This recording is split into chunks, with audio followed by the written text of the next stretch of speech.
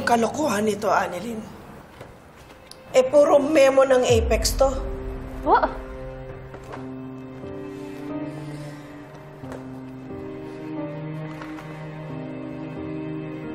Bakit iba yung laman ng folder na to? Paano nangyari yun? Ba't iba yung laman ng folder?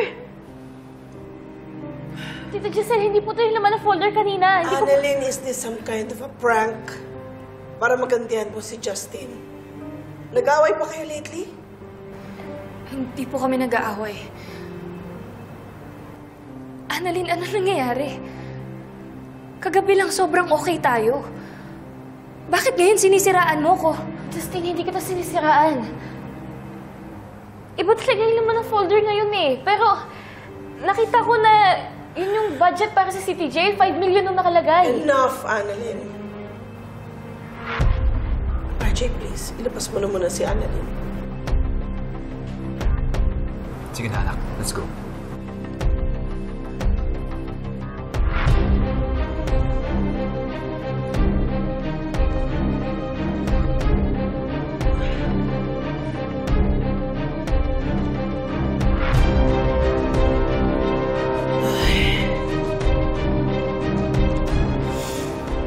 I'm sorry about that, Justin.